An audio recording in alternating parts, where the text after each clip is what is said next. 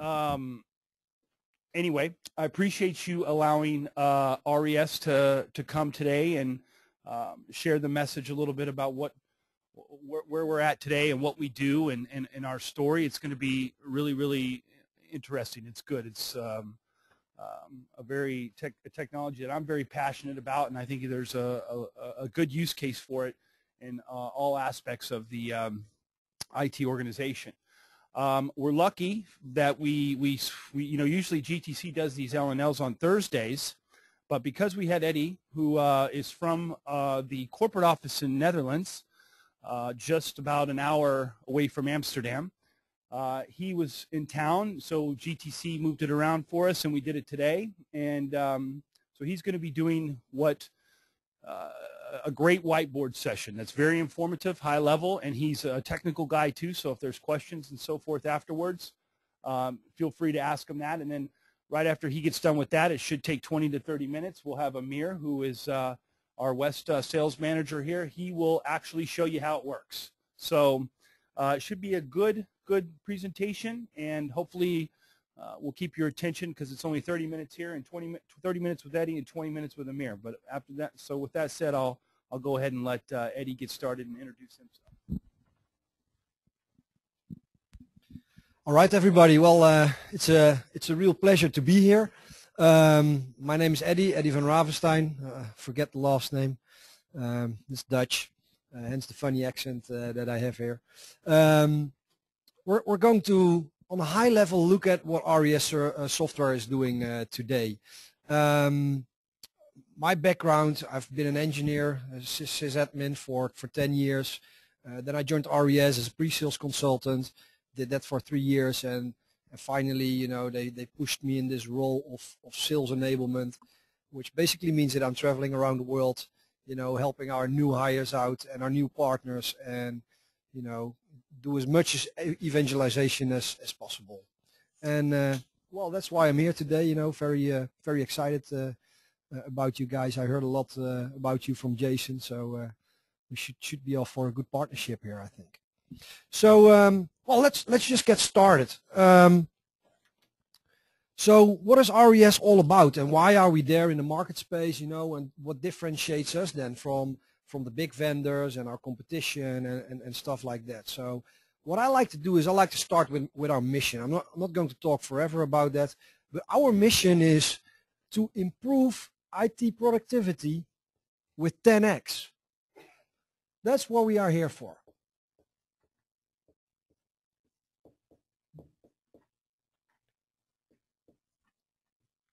Right, so improving IT operational efficiency in improving IT operational productivity. That's really what we're at. So everything we make, everything we develop at RES Software is geared towards this mission, right? If it doesn't contribute to IT operational efficiency, more productivity in IT organizations, we're probably not going to build that feature. If it does help, we will, right? So, well, how did we get there and, and, and why do we talk about this, this productivity thing? Well, what RES likes to do is, is talk about the user rather than technology, right? So forget about all technology for just a second and think about the end user and, and what does the user actually need from, from us, from IT, from an IT organization? Well, they need IT services. That's what they actually are needed in need of. And, and what are those services? Well, actually, that's that's simple. That's applications. That might be data that they need to be able to use. That might be um, uh, printers because we need to print stuff or peripherals. And what is very important for a user is that, that his, his stuff, his IT stuff is personalized for him. I like to use Word in a, in a kind of a way and and and and Jason might want to use it in a different way. I, I like it black, he likes it blue. I like to add icons. He might not like to do that. So so the piece of personalization or or settings is very important there for an end user. And when we are able to provision a user with these services, then then he's he's pretty happy with that. Then he can work. He's okay with that. So the first challenge that we see in IT organizations is how do we actually get those services, right? How do we get that? Well, isn't that a call to the service desk? I need something, a printer, I need access to a file share, I need an application, I, I need something. I need to change my last name because I got married and my husband is, you know, stuff like that. I need to change my mobile phone number. If we need those services, we are calling the help desk today. And actually, if we look at 10x productivity, we don't think that's really efficient because a lot of those requests are going via the help desk and you know that's not really a smart way to do this stuff because it's slow we need to wait for somebody maybe we send an email. The the the return time is is not so not so very fast. And if we compare that with the uh, uh, consumer world today you know go on your ipad what do you do when you need an, a service on your ipad you go to the app store right so it's funny in our personal life, in our private life, we can order services on the fly just like that. And actually in the, in the, in the corporate environment, we still have to wait for IT to respond to me. Yeah, we, we are going to the service desk and people are doing stuff there. And then, you know, at some point in time, maybe after a few hours or after a few days or maybe even weeks, we get our services that we want. So how could we do that better? Well, why don't we create an app store for our end users so that they can interact with IT in the same way as they do um, in their private life. That would be awesome. So let's talk about that. So is then an app store good enough? And, and that's the first differentiation between a, an enterprise app store and a consumer app store. Because I don't think we should talk about an app store because, you know, the application delivery part, we already got that done. Now, what is really important is to talk about an IT store. An IT store where users can find all the services that they need. And what is then the differentiation between an, an app store, a corporate app store, an enterprise app store, and a consumer uh, app store? Well, first thing I already mentioned, this is beyond, beyond apps. This app store should be able to hold any IT service right? And the second thing is, this IT store should not show all the IT services that we as an organization deliver because we deliver services for finance, we deliver services for, I don't know, marketing, operations, there's all kinds of departments. And this IT store needs to be personalized. That's, that's a sec the second differentiator if you and I are going to the App Store, we both see the same services in there, right? To the, to the consumer App Store. All the thousands of applications are in there. I don't want to bother my users with services that are, you know, not even applicable for them. So we need to be able to personalize this IT store and we need to do that based on organizational context. And with that, I mean, you know, your department, your role, uh, maybe your, your default location or something. Uh, maybe the project group that you're a member of. And that's what we do with personalization. So I only see those services that I actually qualify for and that I'm allowed to request. So here's the, the third one. IT store should not only be about delivery of services, it should also be about return of services because a lot of solutions out there are really geared towards delivery, delivery, delivery of IT stuff. And and here's the story of that guy that is in this company for 20 years. And this guy is um, changing roles over 20 years. And what has happened with his access to IT services that, that grew over the years. And he has access to services that he's not using anymore. He might even have access to services uh, that he's not entitled anymore. So we run into compliance challenges there. So an IT store should be about subscription to IT services. Subscription to IT services. What do I mean with that? Well, I can deliver services, but if I don't qualify anymore, I get a new role. I get promoted to account manager. I'm not sure if that's a promotion, but um, right? But I mean, when I get promoted as a pre-sales consultant to account manager, I don't, I don't need VMware Workstation anymore because I don't have to do demos anymore, right? There's some exceptions there, but as an example, so that service should automatically be returned then so that this license is freed up so that we are compliant again, etc., etc. And the delivery and the return, and that's immediately the fifth differentiation with a consumer app store, we need workflows. We need comprehensive workflow capabilities to deliver services because maybe somebody needs to give an approval or maybe somebody needs to, needs to be sent an email or, you know, there could be all kinds of stuff. But the, the help desk is taking care of a lot of administrative tasks around the delivery of IT services. And we should be able to automate that.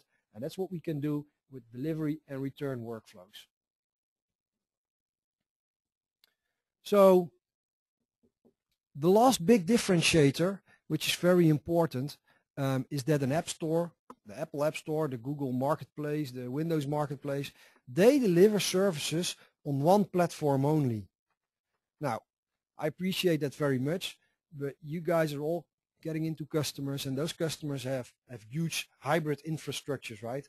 So we should be able to deliver IT services not only on an Apple or on a, on a Windows device, we should be able to, to deliver services across our hybrid infrastructure. That means on Linux and Unix, AIX, Windows, uh, um, SQL databases, uh, uh, Active Directory. You need to be able to target your infrastructure.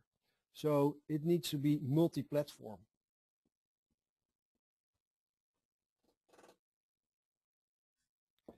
So that's for the IT store so far.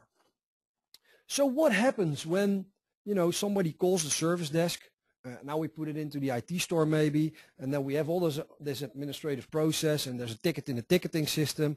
What happens then? You know, somebody has to pick up that ticket and somebody has to execute, you know, the ticket in the infrastructure. We need to do a change. If we want to talk about ITIL, somebody needs to perform a standard change in the IT infrastructure. And that's happening here because here, here is our infrastructure.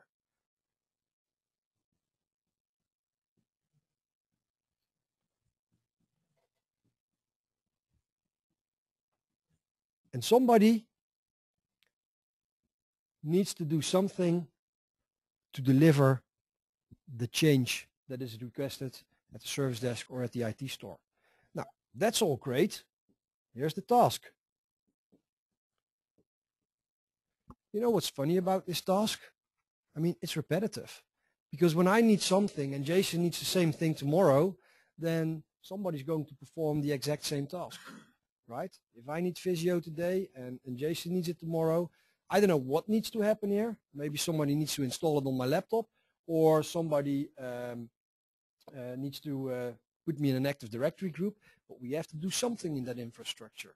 If I need my phone number changed because I got a new package deal with a new phone number, you know, somebody needs to go into that infrastructure and change that phone number for me so that it reflects in all our systems. Now, these repetitive tasks here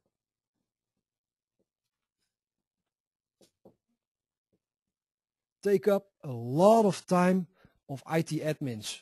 Smart guys out there that are spending time, maybe we should say wasting time on repetitive infrastructure. And when I talk to IT managers, for example, they say, well, my guys are always firefighting. That's what this is. This is firefighting. And the result of that is that we need a lot of people. Those people don't have time for the strategic, innovative projects that we have in the business. And, you know, we are not seen as a high quality IT organization, but we're perceived as, you know, not so good. A lot of IT managers and, and CIOs are struggling with this. So we have a very simple answer to that, and that's automation. If that task is repetitive and the outcome is predictable, why don't we automate that stuff, right? So we need an automation layer and that automation layer needs to be as a kind of a blanket on top of your hybrid infrastructure, right? And it needs to be able to target all elements of that infrastructure. right? we might have SCCM in place already here. So if we got to do something with, with software delivery, we should target SCCM. If we need to create a user account on, on our Linux systems, then we should be able to do that. So what is very important if we're talking about automation and a layer of automation is integration here. Integration with infrastructure components is key to be able to deliver those repetitive tasks automatically, right? And that automation layer should leverage your current infrastructure. Sometimes our customers ask me like, Eddie, um, what about SCCM? Can I then replace SCCM with this or so? Well, you know, you, you could do that, but why would you? If SCCM is in place and it runs fine, does it contribute to 10x productivity to swap it out? I don't think so. We should look at the low-hanging fruit. We should look at what is happening on the service desk and start picking the top five or top 10 most repeatable tasks and start automating them and putting them in the IT store. And then stuff gets delivered full, fully automatically in that infrastructure um, with a workflow. And there's a few advantages there. If I start automating,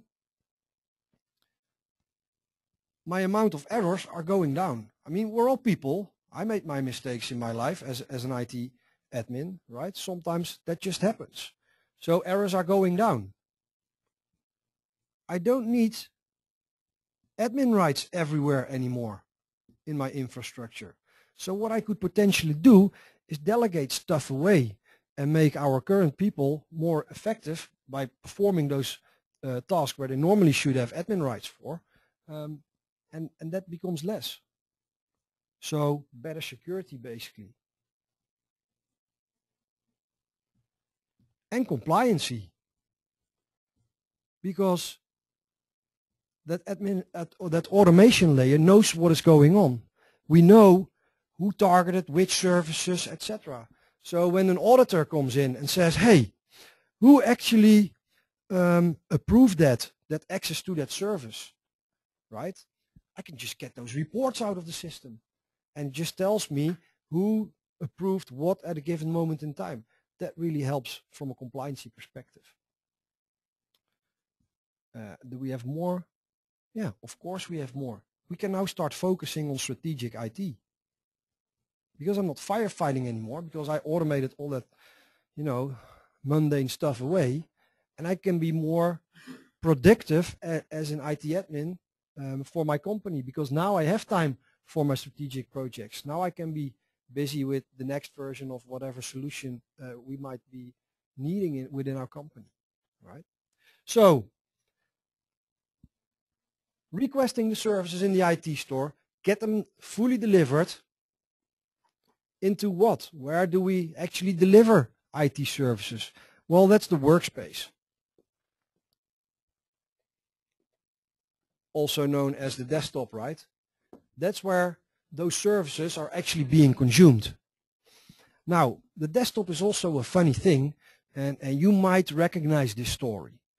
Um, let's see if that's that's the thing. So, desktop, we prefer not to talk about the desktop because desktop is kind of the PC thing under your desk, right? We we prefer to talk about a workspace, and in our larger companies around, that workspace is hosted also in that hybrid infrastructure. Maybe still PCs, maybe a good bunch of laptops, but also VDI, also terminal services. And how am I going to make sure that this user has a consistent and personalized experience within his workspace across this hybrid uh, platform? Well, that's where we come in with something that we call workspace management.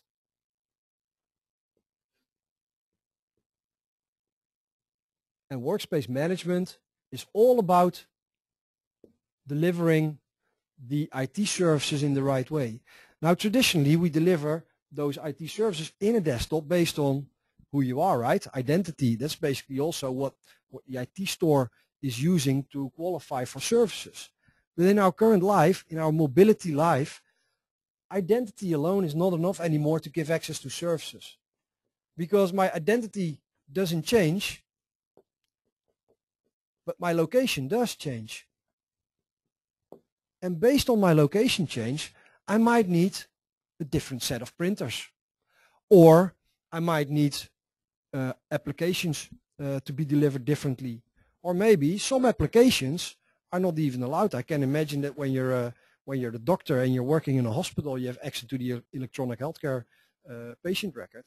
Uh, what about this guy now being able to connect from his home office via his iPad, you know, to his virtual desktop? Um, is, is that application then still allowed to be used in such a situation?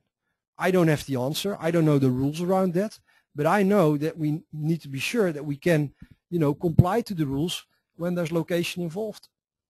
Same goes for device. Is an iPad so secure when connecting to certain services? I don't know. It's up to you and the customers to decide that. But we need to be able to deliver a solution that can manage those compliancy um, prerequisites. And the last one is time. You know, it's funny, when I worked in IT um, 10 years ago, 15 years ago, uh, we were able to, uh, after 7 o'clock, we shut down all the servers, we started upgrading that stuff, you know, all good. Uh, that's not possible anymore today. People are working 24-7. People need to be able to get access to their services 24-7. So what about the maintenance windows? And in, in maintenance windows, people still try to connect to those applications, to those services. And they get this, this nasty errors that they get, SQL blip error, right? So how are we going to focus on that? Well, you need to be able to disallow access based on time to that application to cover that kind of stuff. And then we need to be able to put the right security around it. Wrap around the right security in that workspace. And with traditional Windows, um, there's not much choice there. It's either you're administrator, you're a local administrator, or you're not. So either it's closed or it's open. And something in between, I mean, that can be done, but let's be honest, it's not really easy with, with standard Windows. So you need to be able to give very granular access when we talk about security. Um, what do I mean with that? Now, for example, um, I need for a certain application uh, administrative rights. Does that mean that I give the whole session administrative rights? No, then we would elevate the access rights for that application to administrative. And we would not do that for the whole session, right? And in that way, you can have very granular security within your workspace. And that's basically what RES stands for. Now, what are the products here?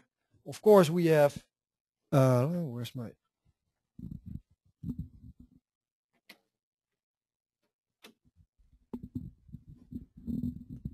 we got here the workspace manager.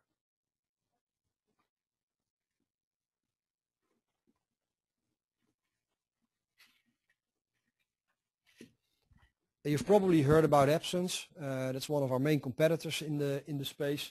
And if you've heard about AppSense and you know what they're doing, then this is a, a quite familiar story probably.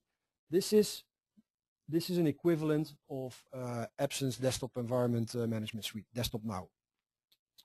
But on top of that is uh, from RES Software, do we have the IT store here? That's our second offering. And the third offering is an automation manager.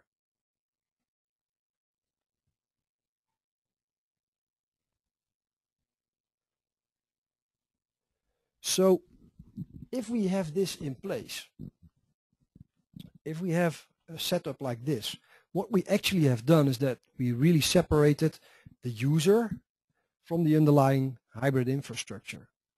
And why is that so good and why is that so important? Because this user wants a consistent and personal you know, way of working. He wants a consistent way of communicating and interacting with IT. He wants a consistent but personalized experience when working with his services. So that's all good. We did that. This workspace manager builds a workspace regardless of whatever technology is underneath, whether it's Windows XP or Windows 7 or Windows 8, whether it's VDI, whether applications are streamed. The user just doesn't know and he doesn't care. Now, consistent access to service desk, consistent access to um, the workspace. And what about IT? What do we want as, as IT people? Well, we like to be very flexible here. Because those guys, they're asking new stuff from us every single day. And we need to be able to implement that as, as fast as we can, right? So we need to be flexible here. We also, also what we like as, as IT people, we need to be standardized because that makes my life so much easier. If I can just deploy a single image, that makes my life much easier than when I need to deploy multiple images, right? So standardization really helps us to manage that environment much better. However, look at what flexible a standardization is saying opposed to personalization and consistency. That's fighting to, with each other. And that's why a lot of IT operations are just struggling on a daily basis. And that's why they are firefighting.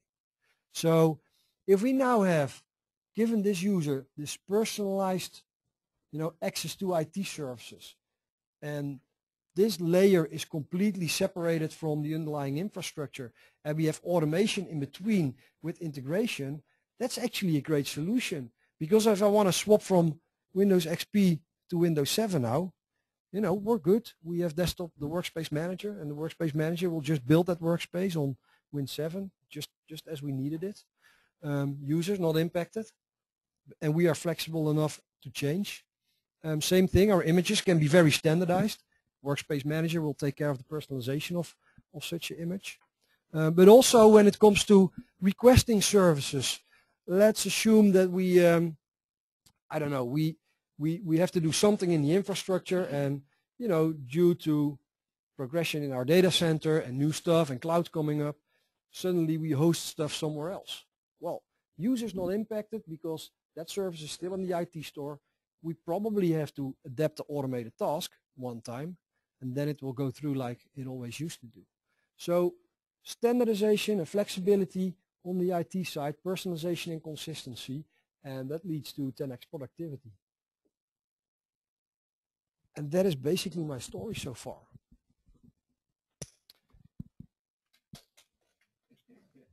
So I'm I'm not sure. Are we going to do questions first? I don't know where Jason is. He, he ran off. First demonstration, and then we then we go to uh, to questions. Super.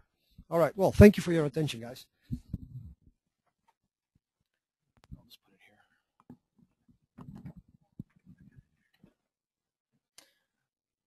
So I want to thank everyone for uh, coming in today. I really appreciate uh, taking the time and, and, come out and have lunch with us.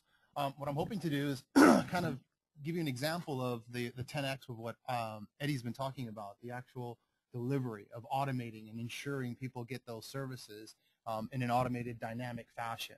So what we're hoping to do is, is, kind of take you through the story of, you know, what happens when I'm a new user starting a new company, um, what does IT do for me, the, not the traditional way of, you know, five-day notice, but actually the RES way of onboarding and delivering a workspace to that user. But before I do, I want to show the, uh, I want to bring it back. I want to show you the environment that I'm uh, currently demonstrating. I have uh, four virtual machines here. Um, the first virtual machine is basically a 2008 uh, R2. Um, it has a SQL server on it. It has my domain controller. It basically gives me the ability to, to demonstrate the technology. I also have my consoles just to show you the, the difference of the environments. The console can literally sit anywhere. To give you a little background of the infrastructure, it's very simple infrastructure. All we require is an is a agent sitting on the endpoint doing what you want it to do and a SQL database. And the database basically holds a configuration file and tells the agent what to do. Um, I also have an app server here, which is a XenApp server. It has an Exchange server. It's a Windows 2008 as well. And I just want to show you the, the full experience of that new user, not just with a desktop, but also uh, a Citrix environment if they're working from home, and, and show you that we're also dynamically and automatically delivering what that person's service needs for them to be productive, not only for you, but the, for them to be productive. I also have a Windows XP machine, which I'm going to log in here in a minute or two. Um, but I'm going to log in with that new user. And then I have a Windows 7 machine here that I'm going to log in right now just to show you the environment. But the reason why I want to show you is, you know, based on who the user is, they get their desktop, their workspace dynamically. And what I want to show first is right now I have the agent turned off and I'm logged in here as Amir Zarsanj. Just by itself, we're not doing anything special except mapping a drive for Amir um, from Active Directory. I don't have any special printers that are mapped to that environment. And I don't have any, uh, I have all the applications. This basically, this image has everything that I need or more than I need really because I have access in here. As you can see, I have Adobe in here. but I'm going to log off here for a second. And I'm going to onboard Jason. Jason just showing RES. So I'm going to go to my, minimize this, to my IT store. So new user comes on board. They basically want to, and we'll come back and show you all the differences. They basically, um, I'm hiring Jason. Put this over here. And I'm going to onboard my new user by going to my IT store and selecting my services that are made available. Based on my context, I've actually logged in here as Amir Zarsanj. It gives me the different services, and I'll, we'll go back in a minute, and we're going to choose Jason. And give him his telephone number, and this is just basic information. And we've already created a profile for different types of sales employees. And this time we're going to make Jason the channel manager. Well, you know, we'll make him my boss. How's that? Jason, you want to be my boss today? Usually act as if you're my boss. so now our system actually goes through the process of onboarding. Now, if you think back, the you know your traditional methods of onboarding a new user, how many days does it take? How many hours does it take? What are the simple tasks that are associated with that? All of those, those repetitive tasks can now be automated automatically to deliver that for the users. And, and when we talk about the IT store, don't think of it just for the administrators, but we also talk about it for the users themselves. I need to change my last name. Just like how Eddie said, my wife just got married. She's joining a company. She married me and she needs to change her last name. Or I need to change my telephone number. Those repetitive single tasks take anywhere between two to three minutes to two to three hours to do. Now they take literally seconds because with our automation manager, those jobs that are repetitive are just simply done through automation where the entire user that can take days can take literally seconds. And then once that user, based, you know, based on that profile that we create, when they log into that environment, they get all of their services. And you'll see in about uh, 30 more seconds that I'm able to log into the system. You'll see that I have a completely different environment. And let me go back to that system real quick and turn on the agent. So when I do log in as Jason, and just to, to, show you some of the other services, multiple things you can do, resetting passwords, simple stuff, changing telephone numbers, providing USB connections, all of this can be easily automated, provided to the users, and provided to them across the different devices. Here's Jay Pollock has been onboarded. We're going to go back to this machine here, log in, switch the user this time, give him his default password. and the system goes in and logs him in for the first time. I'm going to do the same for the Windows machine.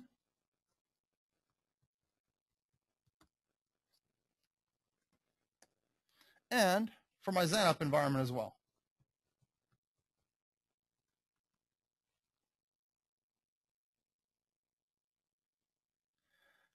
Now, the nice part about it is when the user logs in, they're going to get the, the profile that I've defined to them. Jason's part of the sales, so we're going to make him sales. Give him everything that he needs to be productive. All his applications, all his printers, all his settings, all going to be configured for them down to the, even the start menu based on, you know, his profile or what we define him to be part of the sales. Now, if you notice, my entire environment's changed. It doesn't look like it was where it was a minute ago when I logged in with the agent turned off as myself. I have set of different applications. I have a start menu that's much more different. Certain applications are actually hidden. Access is no longer there. Um, I don't have Adobe. If I go to my shared drives, I now have the, the Active Directory drive that's mapped by Active Directory, but I have two additional drives. Based on who I am, my, my uh, definition of being sales, I get the sales drive and the software drive. And if I go to my printers, you'll see that I automatically, dynamically receive the printer on the campus second floor. Now, the nice part about it, I want you to remember this floor, the, the, name of this printer, because as I move, if I dynamically move from location to lo location, we detect who that user is and ensure that they get that services, that printer that's specifically for them based on their context. Now, we control not only the start menu, not only the printers, but even the, the shortcuts that users have. So if a user, you know, based on who they are, if they delete a shortcut, if they simply refresh their workspace or the administrator refreshes their workspace, will recognize that they don't have the proper shortcuts available to them, and it puts it right back where it was before. So not only is it the printers, but it's the entire workspace environment, and including the applications. You know, based on the type of application, we can even configure the application for that user. Um, I've created a configuration that says when I launch my CRM application, I want to map a drive and create a ODBC connection for that application. And I want that ODBC connection to be the nearest SQL server rather than the one that's at the central location. As soon as I launch my CRM application, you'll see that it maps my CRM drive for me and my ODBC connection is automatically con configured for me. So it's not only the workspace, it's the applications, it's the user, um, it's everything that I need, those services to be productive. On top of that, if I come in and let's say launch an application, customize that application, I rather I'll use Eddie's example of I like my background black, make a little small adjustment to that, and also say Amir was here, add that to the dictionary. I simply shut down the application. I don't need to log in or log off. I can go to my other workspaces. I can literally drive from the office, go home, go to my XenApp environment, start my XenApp, and basically not even logging in and logging off. You'll notice that I start my Word, uh, double click, and my settings all follow me from my XenApp environment, from my Windows 7 to my new XenApp environment where I'm working from home. And the system determines and detects my context, who I am, and recognizes I'm no longer working in the office and delivers the proper uh, printers for me on the fly. As it launches, I apologize, still running a little slower than expected. See, it actually detected I'm no longer part of the, the uh, office and says, oh, your default printer's been changed. My settings are all here. Amir was here. My dictionary is there as well. Now, the nice part about it, I can make additional changes add that to the dictionary. Make uh, this from blue to silver. Select OK. Adjust this a little bit more. Close it down. Not save it again. This time, I'm no longer at home. I've taken a flight. I've gone to the New York office, and I forgot my laptop.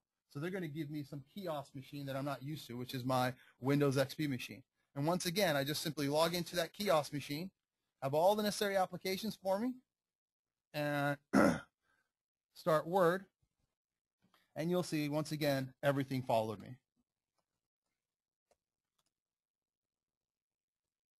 Oh, I misspelled the mirror. Apologize. There we go. so that's the nice part about it is it's based on that context. We deliver what the users need, that productivity, the services that they need to be productive. And it could be multiple things from configuration of the application, the, the shortcuts, the start menu. Um, it could even be down to um, the, the type of applications that are in their, their start menu from, you know, based on their context. Like if I need an application when I'm in this location, I get this application. If I'm in this office, I get that. So I've created a rule right now that says, if you notice, I don't have Adobe installed. Well, it is actually installed. It's not made available.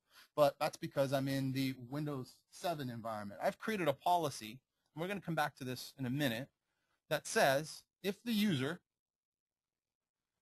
is running Windows XP or Windows 8, they can have Adobe. But we want to go ahead and change that. We want to say if the user is running Windows 7 as well, they get Adobe too. Now, the nice part about this, you know, with a lot of our competitors, in order to make things available to the users, they have to actually log off and log in. We don't need that. We control the entire workspace. So I just simply either refresh my workspace manually or I can do it through the console itself and it recognizes my context. It says, hey, you have Windows 7. Here's Adobe for you. So therefore, I get what I need dynamically. Now, what if I need an application that's not available to me? What if uh, it's not based on context? And that's where the nice part of our IT store comes in, where we can actually see what the services that are available for my user, and based on, once again, my context, I need Microsoft Access. So I can make those requests through that IT store, or better yet, I need Mozilla Firefox. Now, mind you, it's not automatically delivered to that user.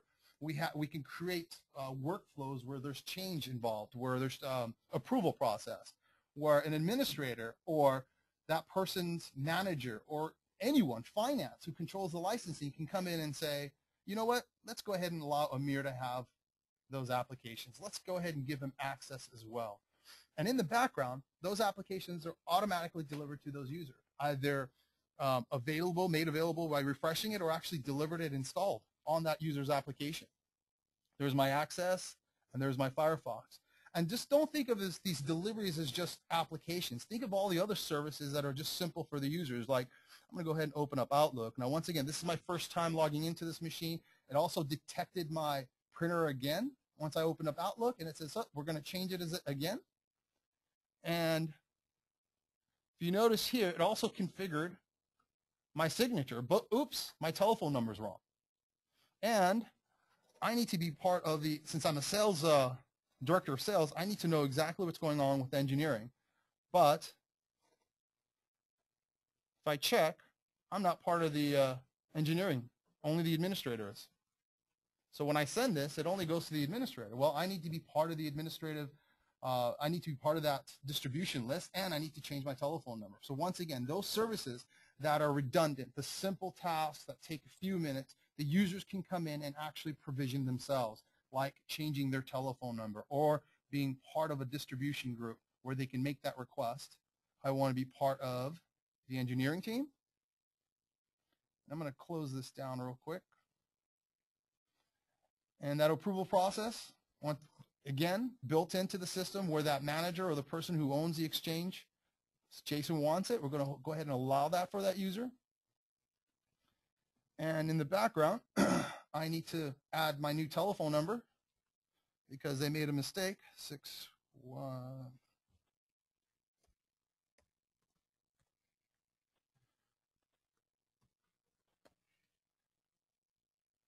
And then it actually goes off and goes through the, the workflow, those simple tasks of changing the telephone number on someone's. What are the specific uh, steps that are needed to do that? And does that in the background rather than opening up a ticket with your desktop support team or picking up the phone and calling desktop support.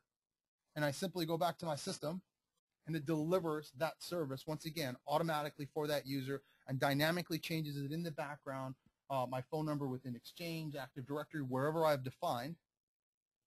It's going to refresh my workspace. I go back, I start Outlook again.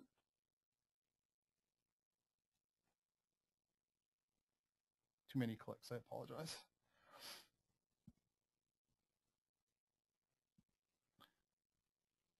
There we go. Now I'm part of the distribution list. I'm going to go here, open up my you'll see that now my signature has been changed, pulling it from Active Directory, and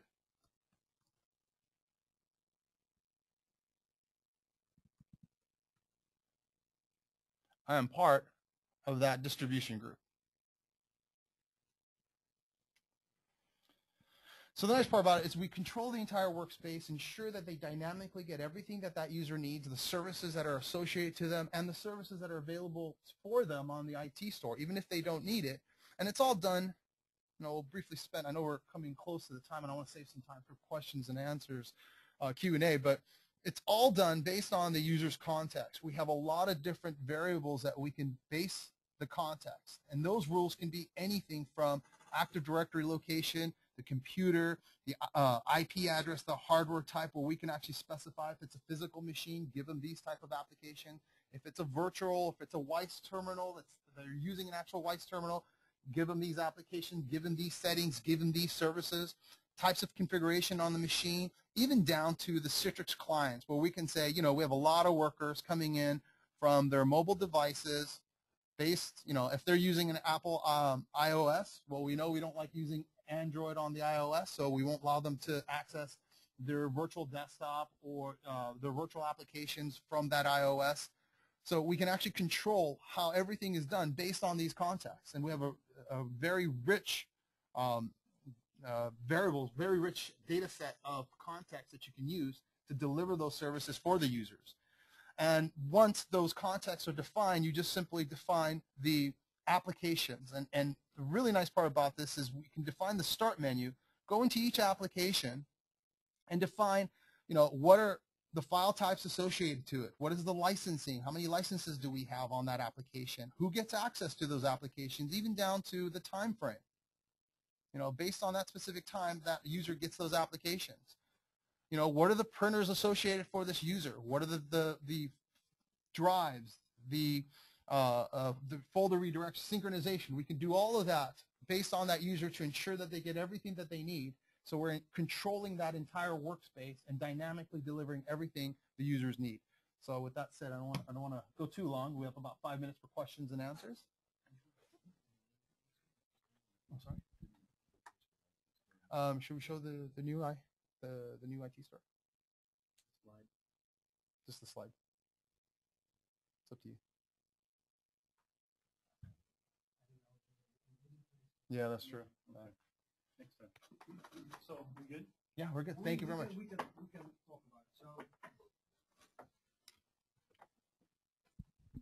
So, so can, can you bring up that uh, IT store again, uh, uh, Amir? Now, well, um, maybe uh, one thing is not only is it a client, but it's also web-based as well. You can actually go to a website. Yeah.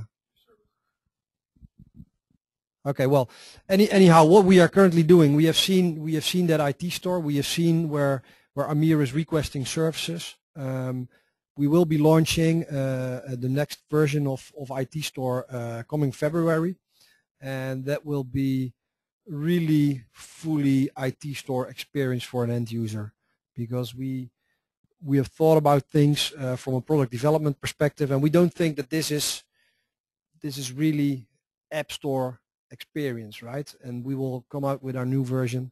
Um, um, and, and, and once we go forward as a partnership, Jason, I think, and, and the Asian place, we can at, at some point also show them.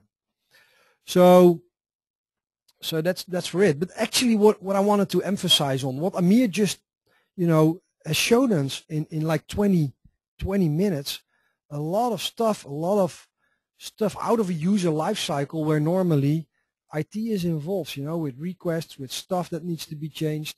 And, and he, he requested a lot of services and, and it all got delivered in, in those 20 minutes today. And I appreciate that, of course, Amir's environment and, and also my demo environment on my rig are very, you know, simplified versions of the truth.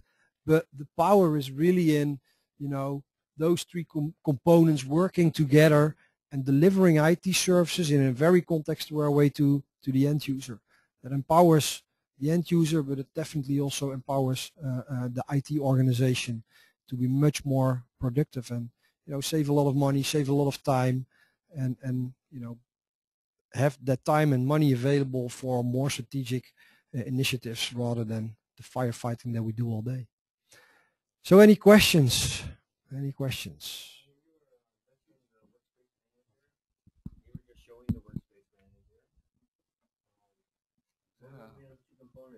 The manager and the IT store, that's all part of that. but you were just showing, that console? Yeah, I showed you the console as a workspace manager, I showed you the console automation, um, and this is the IT store as well.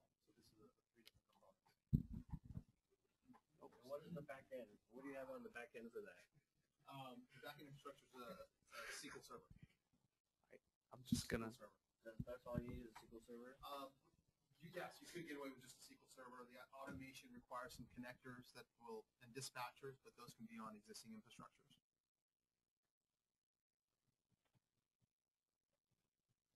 Any other questions? There we go. How does it handle like high availability or DR? Wait, we don't understand. Can you, can you repeat the question?